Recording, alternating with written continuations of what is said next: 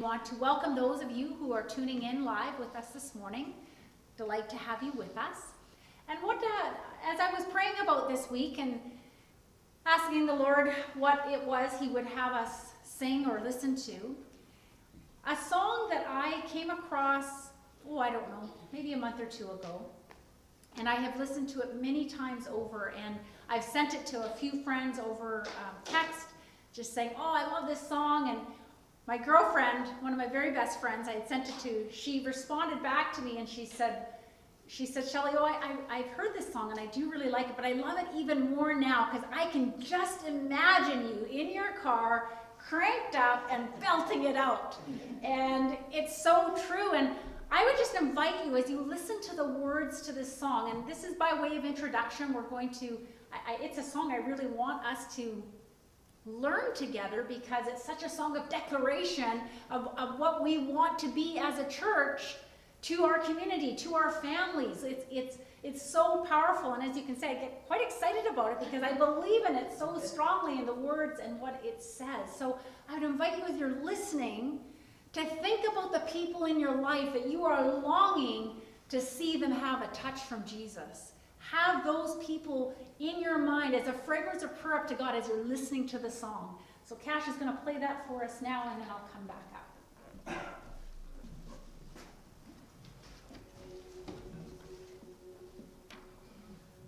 Are you past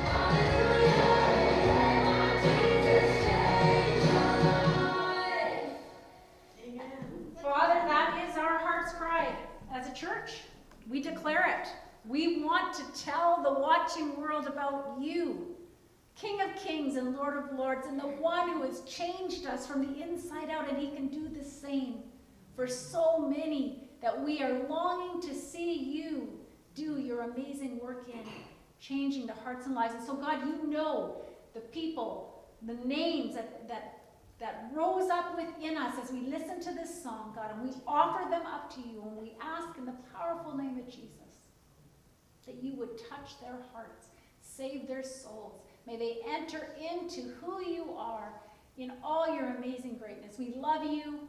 We're so grateful that we can sing in this way and declare who you are. In your powerful name, Jesus. Amen. That was beautiful. Oh, thank you. I'm gonna send that one to Jane, the one I sent her. Oh, great, wonderful. Perfect, thank you. Yes, you're welcome. Nori, you're going to come do the scripture.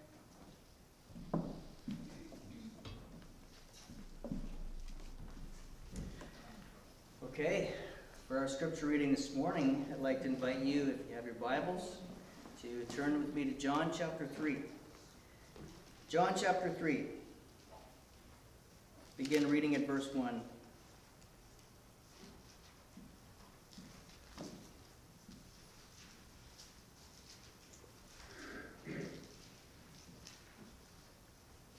John chapter 3, verse 1. Now there was a man of the Pharisees named Nicodemus, a member of the Jewish ruling council.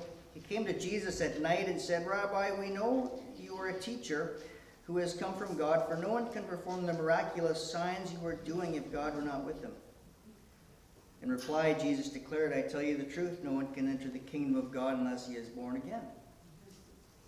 How can a man be born when he is old? Nicodemus asked. Surely he cannot enter it a second time into his mother's womb to be born? Jesus answered, I tell you the truth. No one can enter the kingdom of God unless he is born of water and spirit. Flesh, is, flesh gives birth to flesh, but spirit gives birth to spirit. You should not be surprised at my saying you must be born again.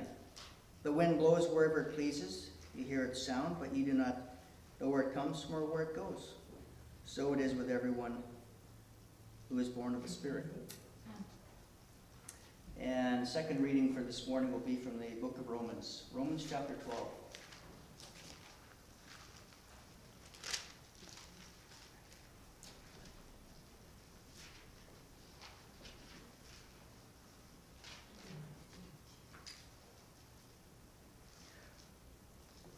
Romans chapter 12, and we'll begin reading at verse 9.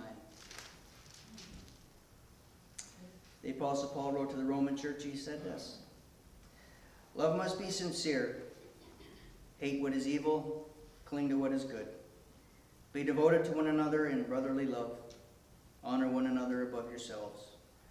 Never be lacking in zeal, but keep your spiritual fervor serving the Lord.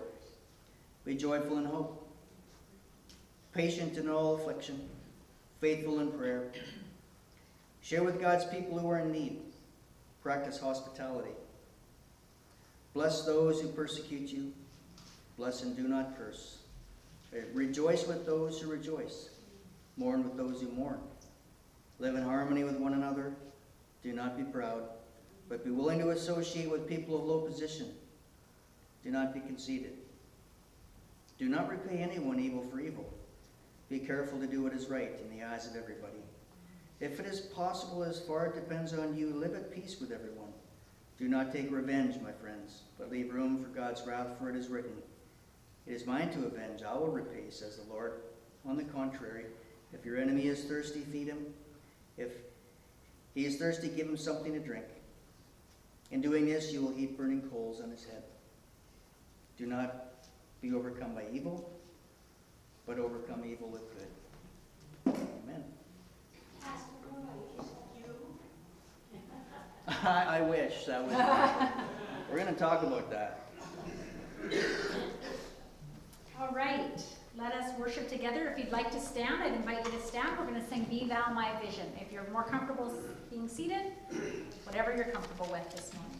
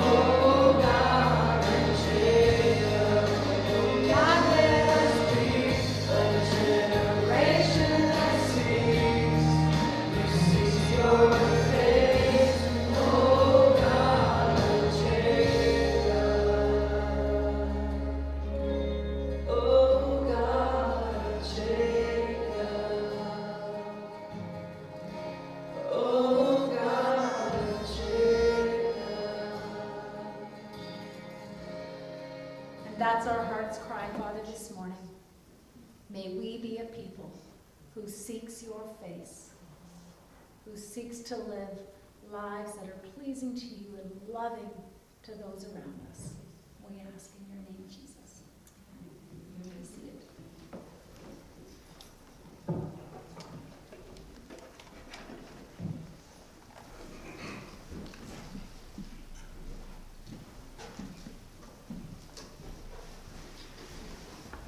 That's wonderful. I love that music. Thank you so much, worship team, for leading us in that.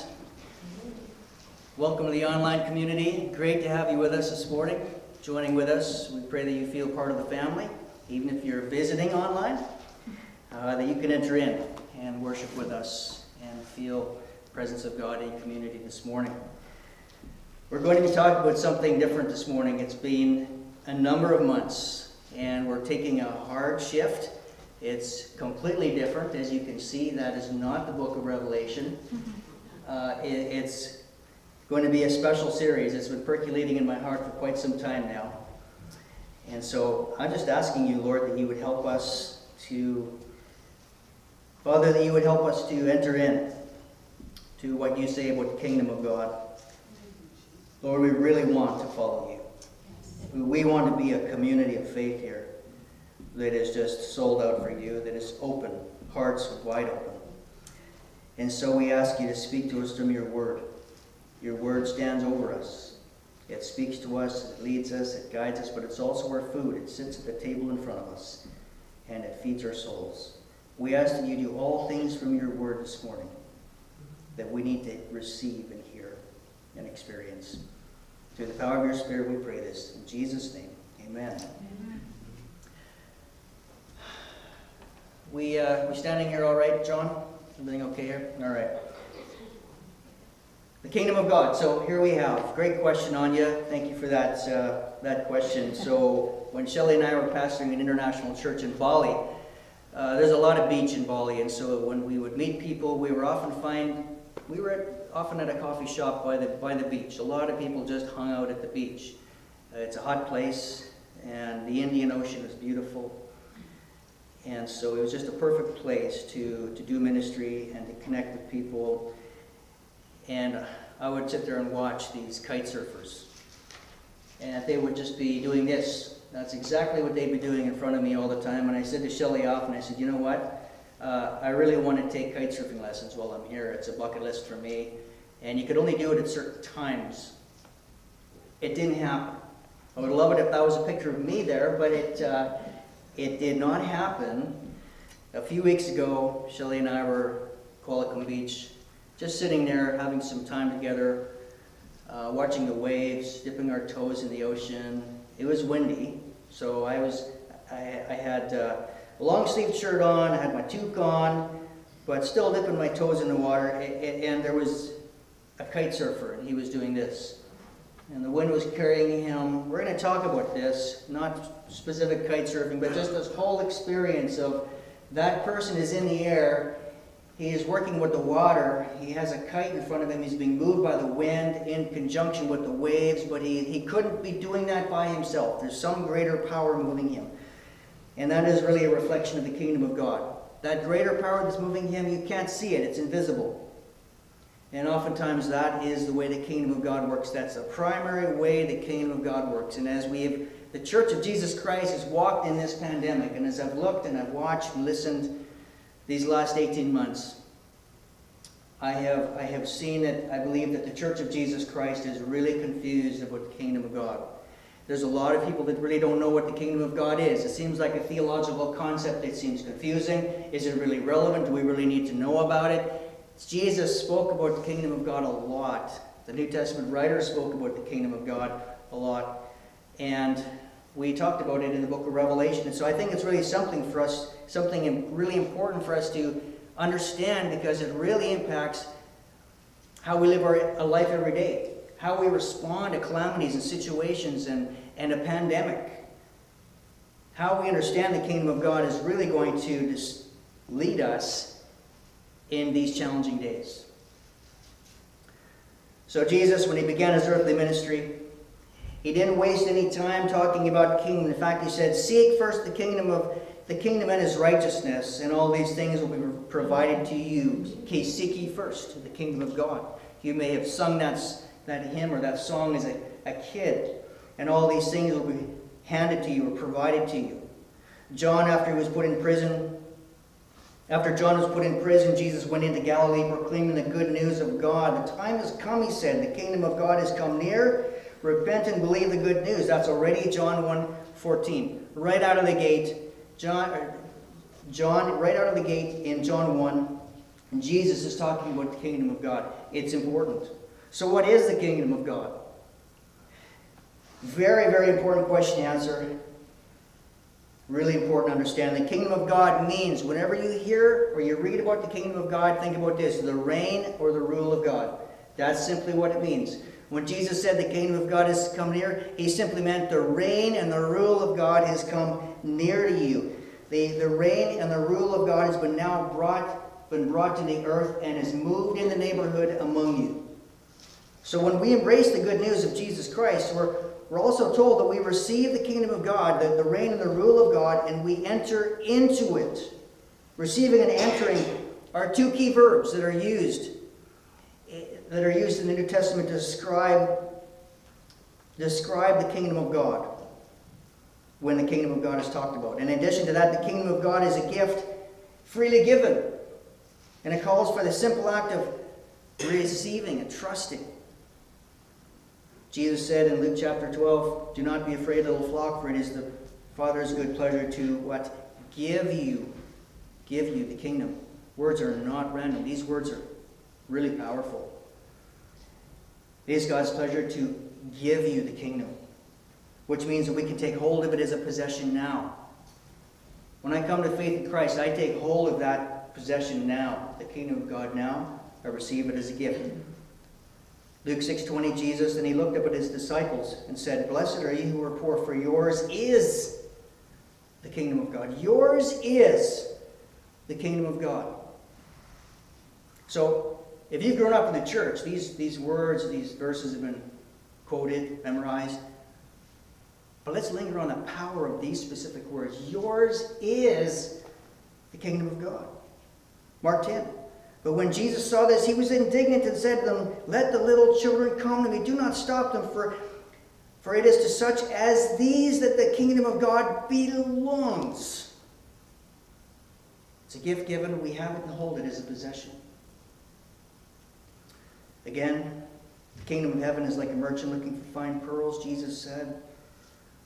When he found one of great value, he went away and sold everything and he bought it. And so, on one day, as we learn in our journey through the book of Revelation, we will fully inherit the kingdom in its fullness. Close to the hours of his suffering, Jesus spoke of the end of the age, recorded in Matthew 25, and he said, And then the king will say to those in his right, Come, you who are blessed by my Father, inherit the kingdom. Inherit the kingdom prepared, prepared for you from the foundation of the world. So let's look at it. I've already said a lot. We don't want to miss it. What is the kingdom of God so far as we've looked at it in the scriptures? The kingdom of God, we receive it as a gift freely given. We have and hold it as a possession. And we fully inherit it when Jesus returns. If you've been journeying with us through the book of Revelation, you you, you saw what happened when, we, when Jesus returns. We fully inherit the kingdom of God, and it comes to earth visibly in a brand new, renewed earth for all eternity with Jesus. But how does that kingdom work now? That's, that's one of the big questions. This is where I want to spend the next number of weeks on that question. How does the kingdom of God work now? Friends, words are not random with Jesus. So when he spoke with the kingdom, he said that when we receive it as a gift, he also described it as a realm, an arena, as a zone, as a space, if you can believe it, that we enter. A realm, a domain, an arena, a space that we enter into when we receive it as a gift. On the famous Sermon on the Mount, Jesus said, Matthew 5, Therefore, anyone who sets aside one of the least of these commands and teaches others accordingly will be called least in the kingdom of heaven. But whoever practices and teaches these commands will be called great in the kingdom of heaven. Words are not random. I'm sure, those are little prepositions. But prepositions, little is big. Likewise, later on, the Apostle Paul wrote to the Colossians and said that when we believe in the gospel, in a moment, he has rescued us in the moment of faith. He has rescued us from the, from the power of darkness, or that power can be translated kingdom. That's why many of our, of our translations have translated that kingdom. He has rescued us from the power of the kingdom of darkness and transferred us into the kingdom of God's beloved Son. Two kingdoms. One kingdom ruled by Satan, one kingdom ruled by the good Master Jesus Christ, the Son of God. The moment of faith, we are transferred from one kingdom to another in a moment. There are a lot more places we could go in the New Testament and, that use this language, but let's make sure now we're getting the picture. The kingdom of God. We receive it as a gift freely given. We have and hold it as a possession. We inherit it fully when Jesus returns, and we walk in it every day. Think of it this way. Have you ever seen a water ball? You ever seen that? Fascinating. Fascinating people who can go inside of that and move around in the water. It's a crude image to describe the, the mystery and the glory of the kingdom of God, but it's the closest thing that I can find to give you a visual of really what I think the scripture writers are saying. Jesus is saying. That, that, that, that ball is surrounding that person. He's moving, um, he's moving forward in the world, surrounded by that ball. The moment we come to faith, we are surrounded by the kingdom. It's a spiritual realm we live and move in every day, everywhere you go. You go and get groceries, that realm is surrounding. You take the kingdom of God wherever you go to, the, to work, to, grow, to, to buy groceries, to anywhere you go. The kingdom of God goes with you. You walk in it. And so wherever we go, God moves with us. The kingdom of heaven moves with us. Now, there's another very interesting image Jesus used to describe the power of the kingdom of heaven, and this is where I want to spend the rest of our minutes this morning. Matthew 13 33. Jesus telling a lot of parables about the kingdom of God, and he said this. He told them another, still another parable. The kingdom of heaven is like yeast that a woman took and mixed into about 60 pounds of flour until it worked all the way through the dough. Now, if you've grown up in the church, you're quite familiar with this. If this is new to you, then we're going to spend a little bit of time so you can understand it for the first time. But what is yeast? It's very small. For you that cook and you bake, uh, yeast is, you know what yeast is. Insignificant, isn't it? To the average person, pretty insignificant. Jesus used many examples to describe what the kingdom of God is like, but in this image, he goes right into the heart of the home, the kitchen. Have an ordinary house. In Palestine, bread was baked at home, something he would have seen his mother Mary do on numerous occasions. Actually, in the Jewish language and thought, yeast or leaven was almost always connected with something evil. In fact, this is the only instance in the New Testament where the word yeast is used positively by Jesus by anyone. It's always used to describe something evil, the, the birth and the development of evil in a heart, in a society, in a life. And so the Jews connected the reality of fermentation with the reality of decay, and therefore leaven or yeast stood for the presence of growth of evil in our world. One of the ceremonies, actually, in preparation for the Passover to, that actually gives uh, illustration for this was that every scrap of leaven had to be thrown out of the house beforehand. The house had to be completely removed from all leaven, all yeast, thrown out of the house and burned. So it may be that Jesus specifically chose this parable of the leaven to positively describe the kingdom of God, and such a positive analogy would have caused shock, it would have aroused interest, it would have riveted the attention of people listening. Because all they're used to hearing it's is that leaven is described spiritually as, is, is to describe evil, and Jesus saying, no, no, I'm using it to describe, that's true, by the way, but I'm using it here to describe positively the power of the kingdom of God. And people would have been like, whoa, I've never heard him talk like that before. I've never heard yeast talk like that before. Friends, the point of the parable of the leaven lies in the transforming power of the hidden leaven. Leaven changed the character of the whole baking experience. Unleavened bread is like a hard biscuit. I can show you some unleavened communion biscuit, and they're hard as rock. Dry, unappetizing, uninteresting. But, oh my goodness, bread baked with, with leaven, with yeast. We know what that's like. It's soft, it's porous, it's spongy, it's tasty, it's good to eat. Wow, we love eating it. Friends, the presence of the leaven, the presence of the yeast causes a transformation in the dough. The coming of the kingdom produces a transformation in the heart. So that that's what leaven, and likewise, Jesus in his kingdom does in a human heart, in a life. But how does the kingdom do its transformative work? That's a big, big question. Big question. Friends, leaven or yeast is so small that a person who didn't know any better would think it's just some sort of dust or powder, nothing special, probably unnecessary, but something is significant here is happening with the yeast. And whatever it is, it's not going to stay small for long. That's the whole point of it, is it's small, it's hidden, and it's growing. The main point of the parable is that the kingdom power of God in this age moves in ways almost always that are hidden and unseen. Oh my goodness, we need to we need to linger on that one as a society, as a church, in our time. Friends, you cannot see the leaven working in the dough any more than you can see a little sequoia sapling growing.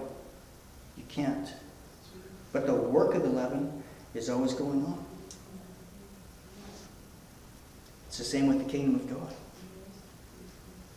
You see, often we can't see the work of the kingdom when we share food with the hungry in the name of Jesus. We can't see what's going on in that heart, in that mind, in the spiritual realm.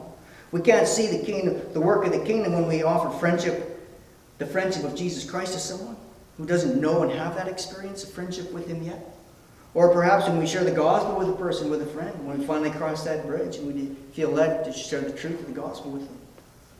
We can't see the kingdom move forward when we respond to evil in a moment with love and mercy. When you respond in, in, with mercy to an email that's hard and hurtful to you, in that moment when you respond with mercy to that person, you can't see what's going on in the spiritual realm. That's hidden power. But the minute your feet, your, your fingers touch those keys, the kingdom of God is working and it's around you.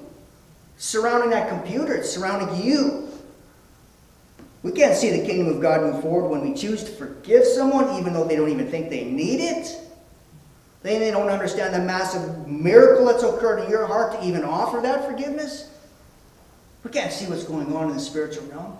That's the power of the yeast, the power of the leaven. That's the power of the kingdom of God. Friends, the kingdom of Jesus most often moves under the radar of life. Subversively, not deceptively, Please don't think I'm speaking deceptively, but I'm talking subversively, under the radar. Subversively overturning the kingdom of darkness with whom we wage war against. We don't wage war against people.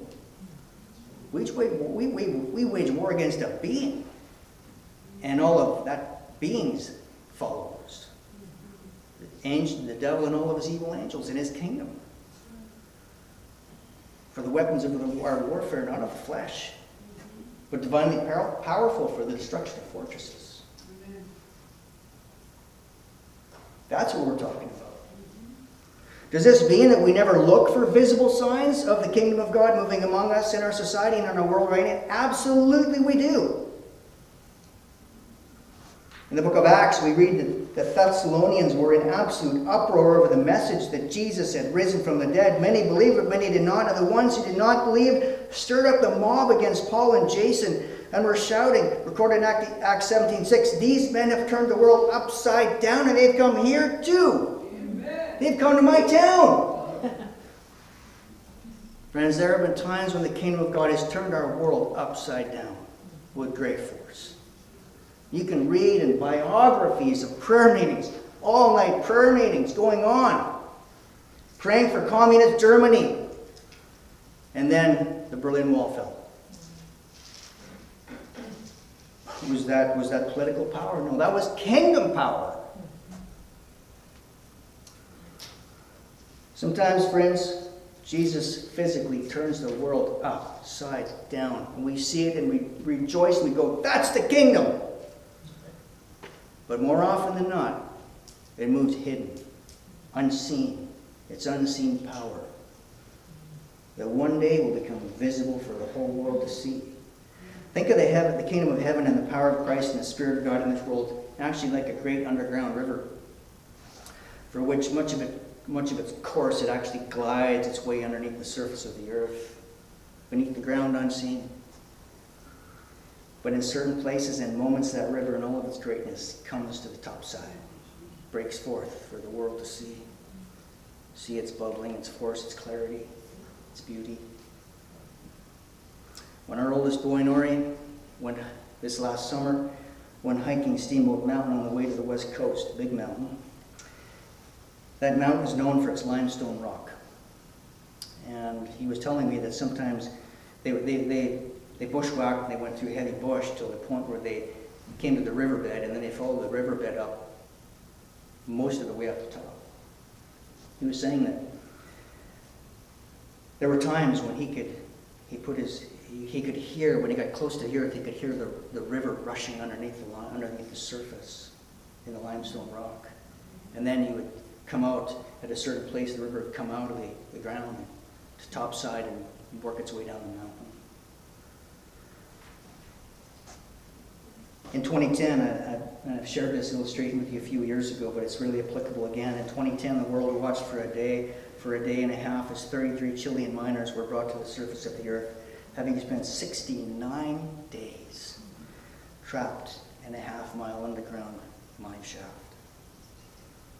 More than 700 million tons of rock had shifted around their workspace, and even those who were charged with the job of extracting labor for weeks without knowing if any survivors would be found at all.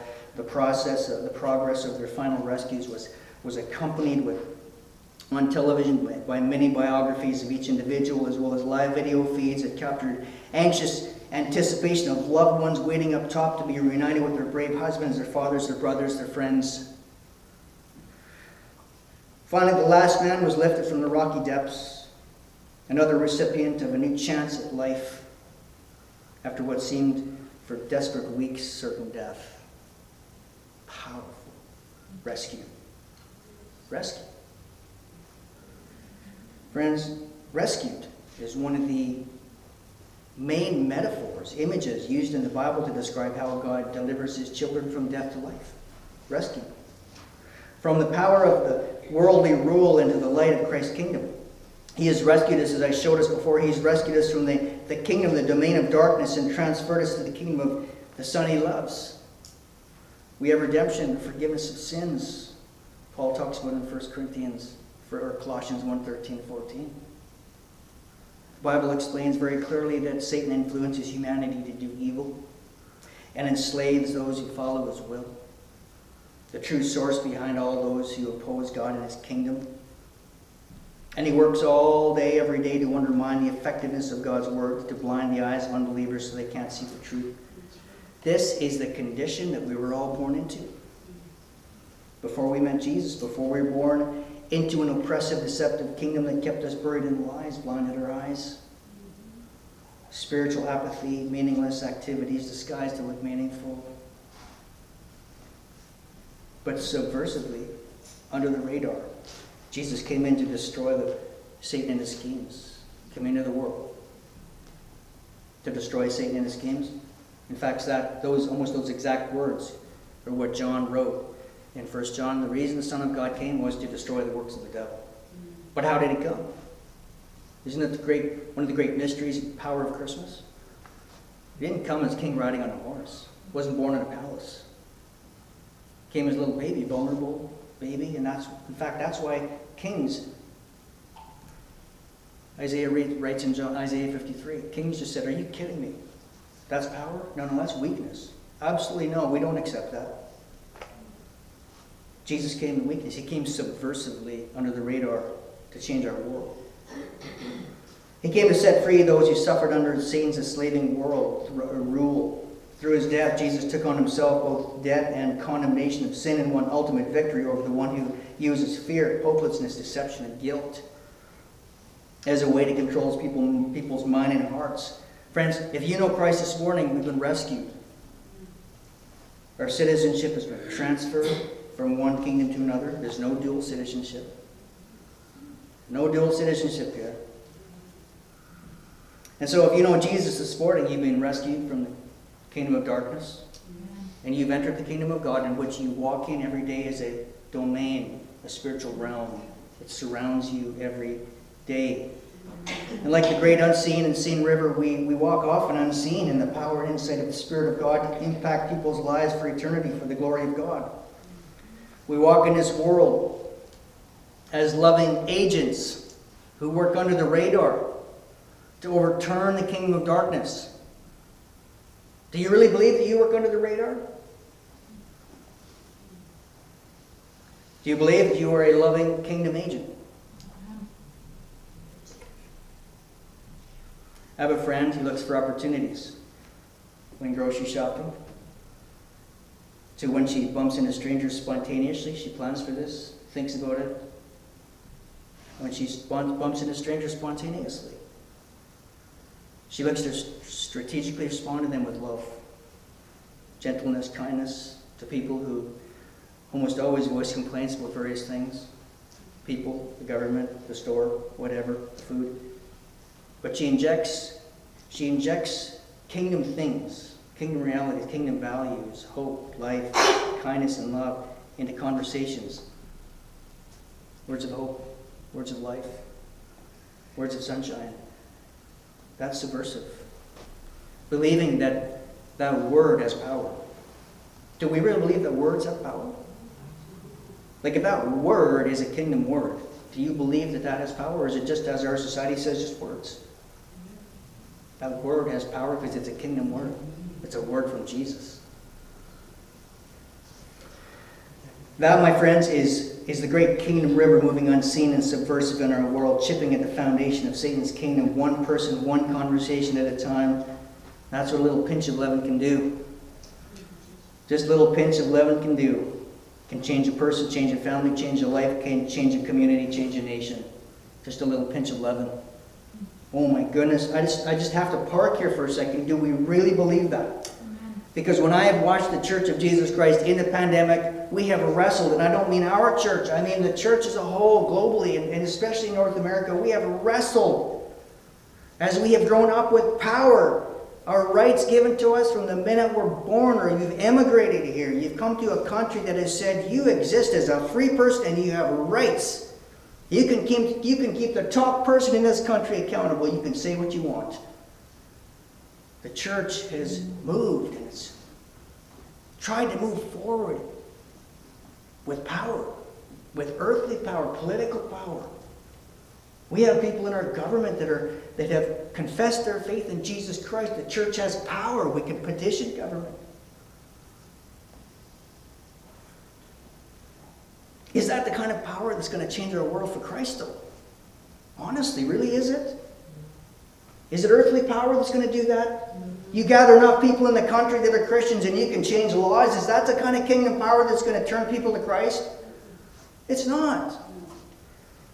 That's the kind of wrestling I've felt during this pandemic. How do we hold account- the government accountable? How do we tell our government that perhaps you, if this is how you feel, you don't feel good about the laws of wearing masks or mandating vaccines?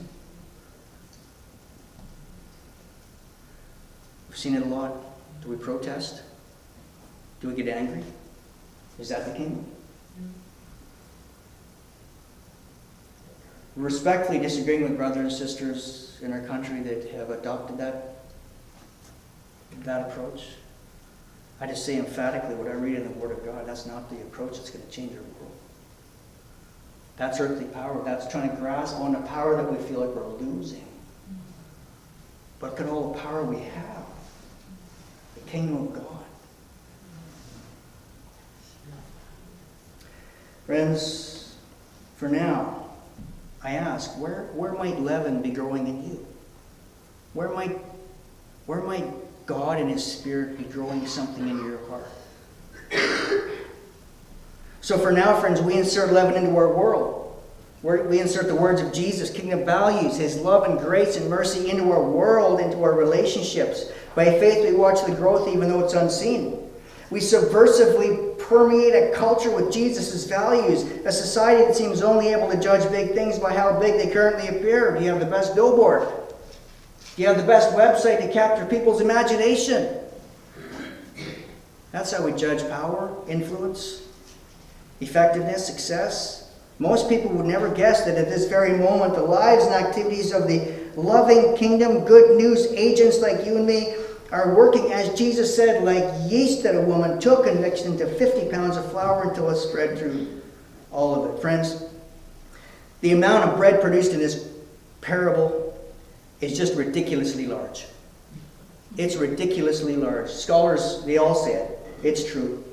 Enough to feed about 40 people three meals a day for several days with a little bit of, little bit of yeast. The word here for mixed could be translated hidden as well in the original language. So yeast hidden in bread, in dough, yeast hidden in dough. Once it's in there, you can't sort it, back it out. It's already made its hidden impact. Once inside that dough, it's already turning the lump into a loaf.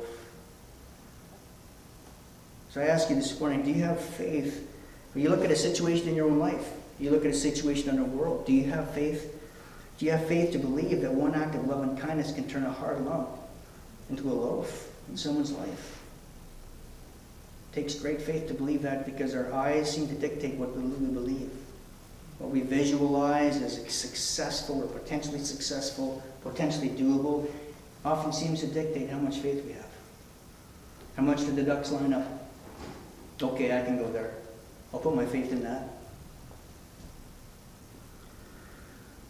And so, friends, as agents of transformation in God's hidden subversive kingdom, we don't have to apologize in any way for being few in number, focusing on one little area or need around us, making what seems like to be a small impact. Why not? Well, our King's own teaching tells us not to be thrown off or discouraged by worldly perspectives of power and success that minimize what we're trying to do or to stop us from getting started altogether, making us perceive our kingdom work as being too insignificant to matter. I mean, who would have thought? I mean, really, who would have thought that a small group of ladies in the basement of a small church in a relatively small populated oceanside corridor could subversively thwart Satan's work and the lives of children living on a garbage dump in the Philippines? By sewing clothes and shipping them over the ocean. I mean, who cares how much it costs to ship it? Who cares? Look at the work that happened. Satan wants to steal, steal, kill, and destroy children living on that garbage dump. Group of ladies in a small church in a scattered area, the Oceanside corridor, for years, thwarted subversively Satan's kingdom in the lives of children overseas. Wow. There's a story told of a woman in her mid 60s with no computer, no email address, and no access to the internet who began corresponding as a pen pal with a female prison inmate. Before long, several more of the prisoner's friends were asking this woman to write them. Today, she composes longhand letters to more than 20 incarcerated women, each month giving them spiritual guidance, counsel, encouragement, and instruction. In fact, some of her pen pals have even stopped by to visit her church upon their release. Here's a lady directly engaging people whose lives have been ruined by many things, and she's doing it subversively with hidden power in small ways, simply and powerfully, a pinch of leaven every day. In relationships, the Apostle Paul gave some powerful kingdom advice for the Roman believers living under what we have talked about before as what has been called soft persecution. They could live and have their faith, but they were pushed out of society. They were pushed out of the economic opportunities. They were persecuted outright in some cases. And those who would have thought, who would have thought that the power to overturn the Roman and evil and political and military might was simply to, as the Apostle Paul said, here's my instruction to you, he said to the church in Rome, Don't pay, repay anyone evil for evil. But take thought for what is noble in the sight of all. If it's possible, so far it depends on you, live peaceably among, among all. Beloved, never avenge yourselves, but leave room for the wrath of God, for it's written, Vengeance is mine, I will repay, says the Lord. How come I'm not hearing that from the wider church in regarding COVID right now? Have you ever thought of this? We should be hearing that consistently as the message from our church across the country. And I know that there are many, in fact, the majority of our churches are. But unfortunately, ones that are going public are, are making it harder for everyone else, sending the message to our society. No, Paul says, if your enemies are hungry, feed them. If they're, they're thirsty, give them something to drink. For doing this, by doing this, you will heap burning coals on their heads. Friends, so that's the goal. So the goal is that one act of love changes the heart and mind of one who's influenced by Satan and sin, and that can happen when good is returned instead of evil. Such that good acts has a leavening power in one's inner life. So the one that has responded to you in evil, when you respond with good, that acts as a leavening power in that person's life, causing them great conviction. Starts small, but it grows in their hearts. I've done something wrong. I shouldn't have done that. That's, that's the way it, it does happen. Not always, but it does happen often in the lives of people. They feel shame at the evil they have caused you or caused someone else. That's the work of the leaven, the work of the kingdom inside that person's heart, causing them great conviction. And eventually, they turn from their sinful ways, listening to the kingdom of Satan and his whispers and his values, and they turn to Jesus Christ, the good master. Jesus talked much about this too in Luke 6 35 to 36. He said, But love your enemies, do good and lend, expecting nothing in return. Your reward will be great, you'll be children of the Most High. For He, the King Father, for He is kind to the ungrateful and the wicked. Be merciful, just as your Father is merciful. New Testament scholar Frederick Dale Bruner comments insightfully when he writes that we will always be tempted to compare the bigness of organizations, of philosophies, of contemporary armies to the gospel message of small things, eventually becoming great things. That's Daniel. Read the book of Daniel. That's the great prophecy of the kingdom that overtakes the world. It starts small, it grows, and it overtakes the entire world. It's bigger than any kingdom that the world's ever seen. And it lasts for eternity. That's the kingdom of God.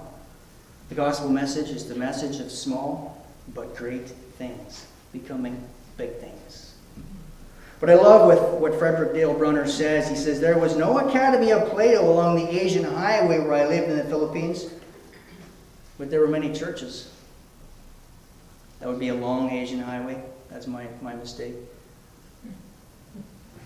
But there were many churches. And he said this the church is an anvil that has worn out many hammers. For over 2,000 years, the church has been wearing out hammers as Satan and his kingdom has tried to pound out or pound out the church out of existence. And how has the church responded? How has the church, through the power of the Spirit, developed to the point where it has over a billion followers across our world? Through love. It's through love. Through the power of the love of Jesus Christ.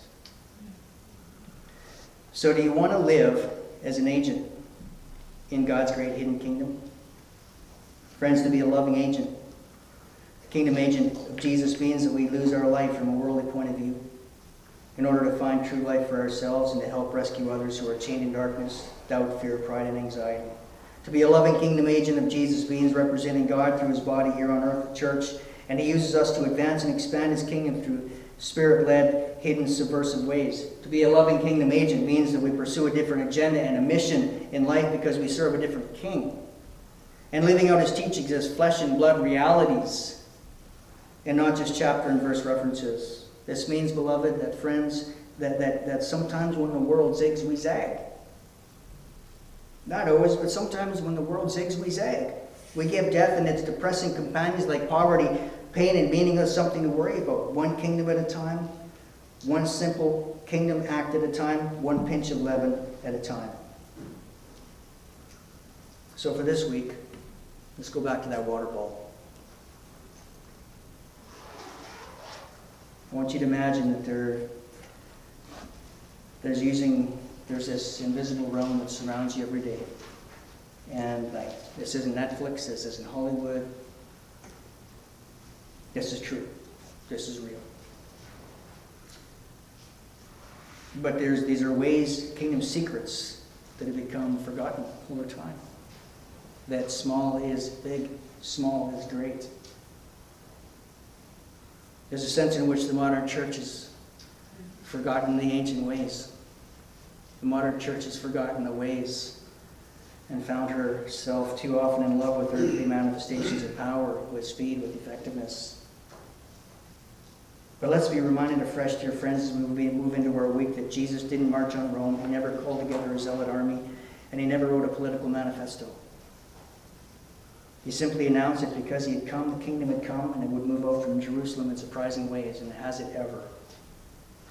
Not by might, but by the subversive hidden power of people who live their lives for King Jesus. And so this week, three things. As you walk in the kingdom, every word, every act that comes from you in Jesus, it has power. Number two, look for ways to creatively and subversively inject the leaven of Jesus' love into someone's life, one kernel at a time, believing that it has power. And number three, what kind of power is important to me? We're going to talk about that in the weeks to come. What kind of power really sticks with you? What kind of power means a lot to you? Jesus valued hidden, subversive power until he returned. So, Lord, I ask you that you would just begin to percolate stuff in us about how we can move forward in our community, in our world. Thank you for your word. Thank you for your word about the kingdom. Thank you for the kingdom of God. Your kingdom reign and rule that surrounds us every day. We confess sometimes it doesn't feel like it's surrounding us, Lord. We confess that. Sometimes it feels like we have absolutely no power. But in those moments, give us great faith, Lord. Give us staggering measures of faith to believe that there is something hidden going on when we simply respond to you by faith.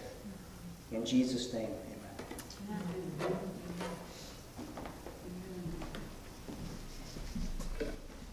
And so for our last song, we're going to sing Take My Life and Let It Be.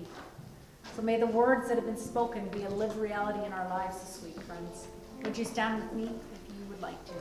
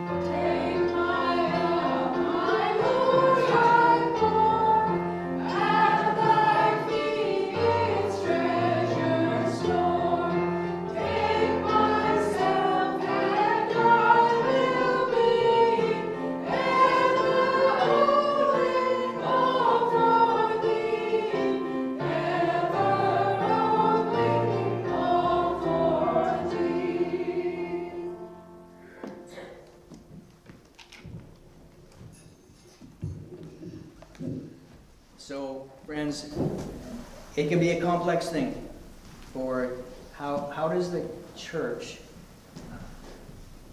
move in a, in a free society? How do we, how do we use the power that we've been given to speak freely? Uh, William Wil- Wilberforce comes to mind. If William Wilberforce had not worked visibly in Parliament for as long as he did, who knows what have happened, would have, what would have happened to the abolition of the slave trade in greater Western Europe. So I understand and I recognize there are, there, there are things that we do. We have a responsibility to, to speak and to live, to speak out on issues. I, I recognize that, but I believe it calls for a season in the life of the church to, to sit at the feet of Jesus, to ponder and listen what the Spirit might be saying for how should we effectively respond so that people can hear us, so that people can hear and see Jesus in all these things. And so, friends, you might be looking at your life this week, someone you know, a conversation might be coming to mind this morning, and you, and you might be thinking, how can I, how can I just inject some leaven of the gospel into it? And so I would encourage you to just think and pray and just ask for guidance on those things. Now to him who is able to do far more abundantly than all we ask or think, according to the power at work within us. To him be the glory in the church toward all generations, forever and ever. Amen. God bless you, everybody. We'll see you in seven days. あのね。